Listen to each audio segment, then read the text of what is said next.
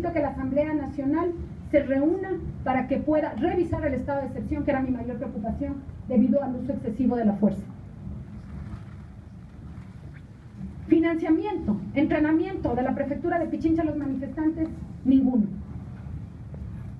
De manera contundente, ninguno.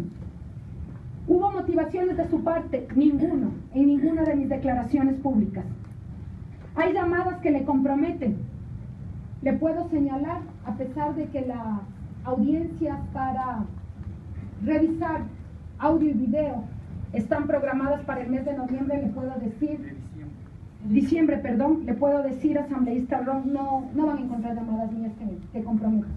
Estoy absolutamente clara porque no hubo el interés de Paola Pavón ni del gobierno de la prefectura de Pichincha de incurrir en el delito de rebelión.